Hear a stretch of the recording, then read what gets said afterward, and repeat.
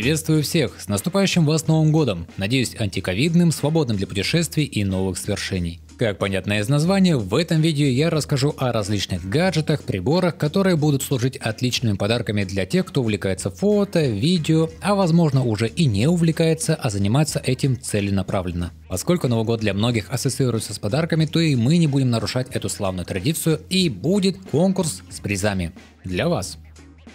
Но об этом чуть позже.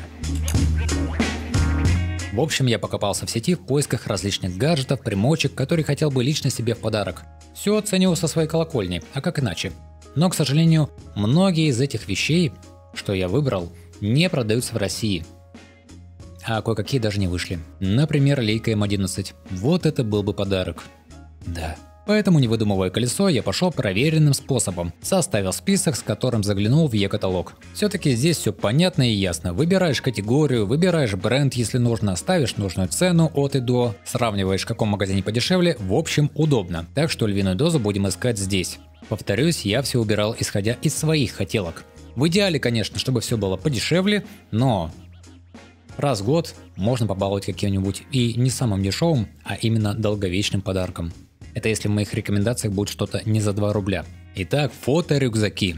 Наверняка следующим после покупки камеры и объектива встает вопрос о хранении и переноске, как правило, далеко не дешевого оборудования. И тут выбрать есть из чего. Немного по навигации. Выбираем нужный раздел. У нас это фото-рюкзаки. Далее можно выбрать бренд и выставить цену. Но что более важно, это дальнейшая навигация снизу. В назначениях выбираем, что это у нас для фотокамер и объективов. Далее тип у нас это рюкзак. И дополнительные настройки. Отделение для ноутбука точно не будет лишним, как и отсек для бутылок. Часто этот же отсек служит для крепления штатива, нижнюю часть фиксируют в кармане, а верхнюю крепят. Далее выбираем материал, если есть такая возможность, и смотрим, что нам выдало. Есть специальные рюкзаки для фототехники с повышенной защитой, но вот их внешний вид часто оставляет желать лучшего. Потому в последнее время все более и более популярными становятся универсальные модульные рюкзаки. Вот, например, рюкзак со специальной модульной сумкой для техники. Так что, допустим, сегодня вам необходимо взять какую-то технику с собой, вы можете просто установить туда специальный модуль. Или можете просто отдельно взять ее с собой. Если же технику нужно оставить дома, вынимаем модуль и кладем другие необходимые вещи. Что самое главное в рюкзаке? Удобство. Все очень просто. Рюкзак должен быть плотным снаружи и внутри, чтобы техника не разбилась. При этом обратите внимание на то, чтобы внутреннее отделение подходило к вашей камере или имело возможность регулироваться. Вам 100% понадобятся различные мелкие кармашки, куда нужно будет поместить мелкие аксессуары. Рюкзак должен подходить для любой погоды, а следовательно обратите внимание на материалы. Сама техника весит, как правило, немало, поэтому тяжелый рюкзак не для всех ситуаций подойдет. Этот весит 800 граммов и стоит достаточно недорого. К тому же Lowe Pro это хороший, известный производитель рюкзаков и сумок. Далее светофильтры. Фильтры бывают разного назначения и диаметра, так что не забываем указать, какой нужен именно вам. Логично, диаметр указан на вашем объективе. Мне кажется, это одна из незаменимых вещей как для фотографа, так и для видеооператора. Давайте вкратце, что они делают. Полярик для тех, кто любит снимать глянцевые поверхности и снизить блик. Или сделать на снимке воду более прозрачной. То есть, опять же, уменьшить блик. ND фильтры очень полезны для видеосъемки, для ограничения поступающего света, а для фото полезны при съемке на длинной выдержке, особенно днем. Существует версии 2 в одном, когда это и ND фильтр, и поляризационный. Плюс это дополнительная защита вашей линзы. Я думаю, ситуации бывают разные, точнее, я знаю, что ситуации бывают разные, и если ваша камера падает, прямо клюет объективом вниз, вы понимаете, что сейчас она упадет на объектив, все-таки лучше, чтобы разбился полярик, эндишник, а не ваша линза на объективе. Так что и обычное защитное стекло тоже полезно. Если не нужен полярик, не нужен эндишник, просто защитное стекло. Отражатели. Великолепные, незаменимые, очень полезные. Как для фотографа, так и для видеооператора. Кстати, вот. Далеко не ходить. У меня здесь висит для того, чтобы смягчить личико с обратной стороны. Давайте вкратце скажу, для чего они нужны, а вы уже потом подумайте, насколько это будет полезно именно вам или вашим друзьям. Во-первых, есть большие отражатели, есть маленькие. Большие для тех, у кого большие руки, шутка. Большие для того, чтобы осветить большую площадь, точнее отразить свет, который на них падает. Все-таки они называются отражатели не просто так. Маленькие отражатели это, во-первых, более мобильный вариант и для подсветки каких-то точечных участков. На экране как раз пример отражателей Manfrotto. Это складная модель Panel Light 1.8 на 1.2 метра и модель Halo Compact на 82 сантиметра.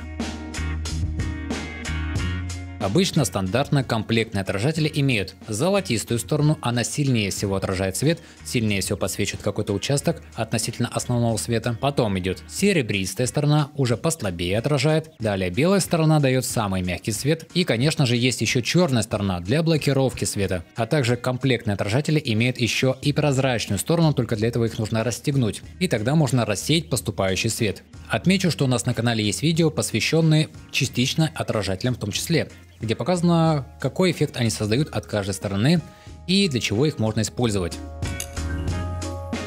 Далее чистящие средства. Думаю, не стоит объяснять, что это очень полезная вещь. Неприятно, когда после съемок ты приходишь и увидишь какое-то пятно на своих снимках или, не дай бог, на видео.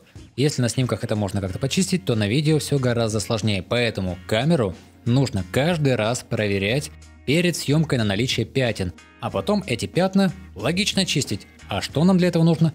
Чистящие средства. Круг замкнулся, господа. Чистящие средства – отличный подарок. На мой взгляд, стоит обратить внимание на продукцию компании Lenspen. Все-таки они родоначальники этих аксессуаров, и поэтому им действительно можно доверить свою дорогую технику. Вот вариант компактного набора Lenspen Photo Kit. В комплекте два чистящих карандаша, один для линз, другой для светофильтра и груша. Есть более продвинутые наборы. Например, такой Lenspen Sensor Clear Loop Kit, где к вышеперечисленному добавляется карандаш чистки, матрицы и лупа с подсветкой. Эта лупа служит для улучшения выявления пятен. Но, к сожалению, бывают и подделки, поэтому обратите внимание на те магазины, которым можно доверять. В противном случае, несмотря на небольшую экономию, тот же карандаш вместо 500 использований сотрется раньше. Или, что еще хуже, повредит технику. Чего уж тут говорить о шпателях, которыми чистится сама матрица. Давайте вкратце скажу, как выявлять пятна. Во-первых, у нас на канале есть старое картавое видео про то, как чистить камеру, от меня, от меня, так что знакомьтесь, ссылочка будет в описании.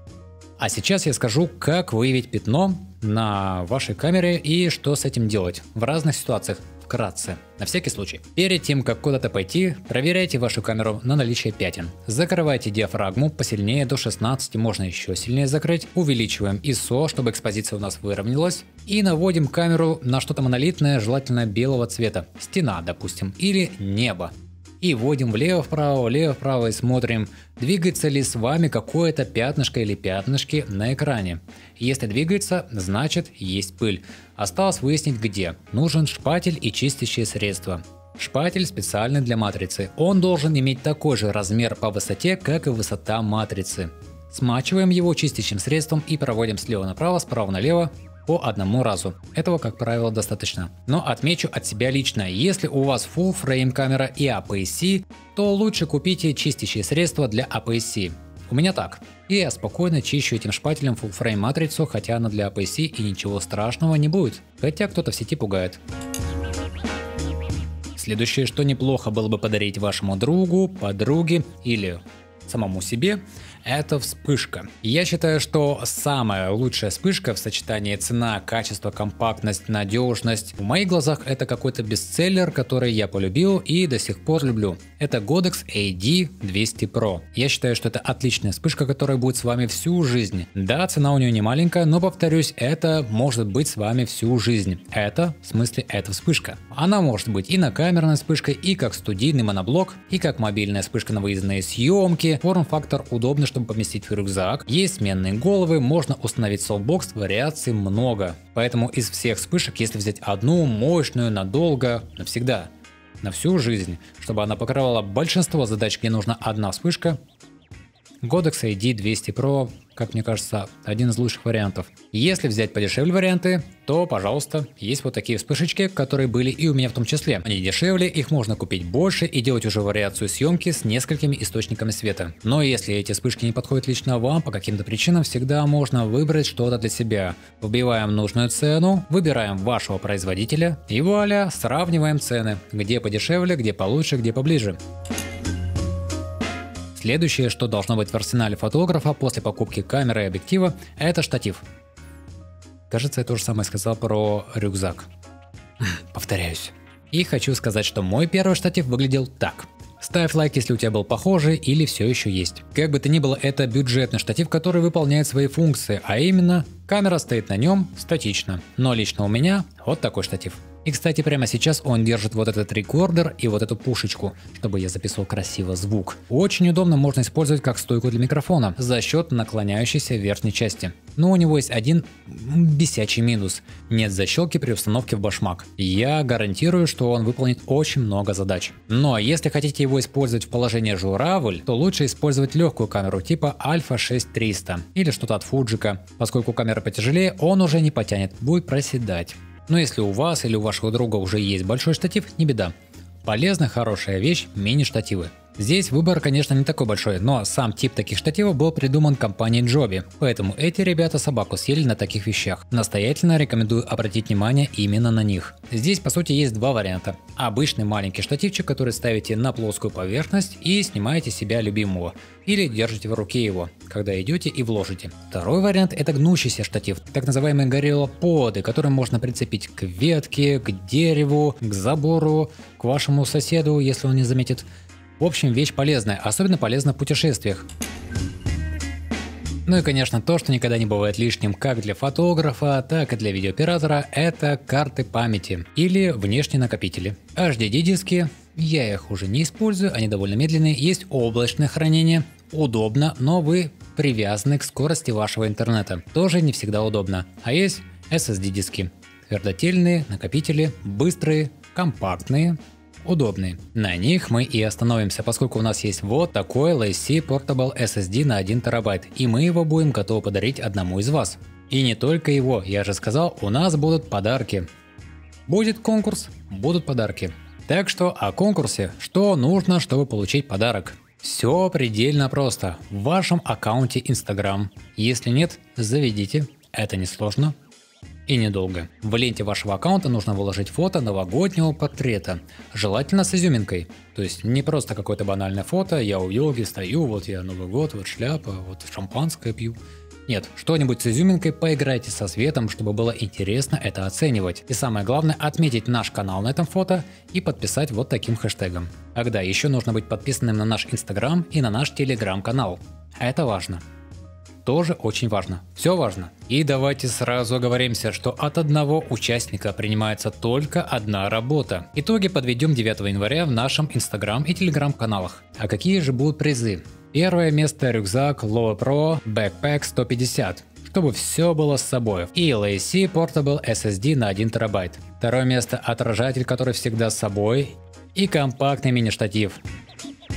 Третье место – набор для очистки вашей камеры LensPen Sensor Clear Loop Kit.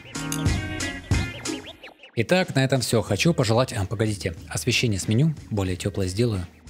Сейчас. О, сразу теплее стало. И видно, что я шторы не погладил. Итак, друзья, всех с наступающим Новым Годом. Желаю, чтобы он был максимально удачным, максимально хорошим, дружелюбным чтобы у вас были самые лучшие фото, самые лучшие видео, самые лучшие клиенты, побольше новых друзей, новых знакомых, новых знаний, конечно же. И пускай все, что вы пожелали в этом году и что еще не успело сбыться, сбудется обязательно в следующем. Стопроцентно, чтобы сбылось. И, конечно, здоровье, счастье, все как на свадьбах. Счастье, здоровье и как можно больше улыбок вокруг вас. С Новым годом!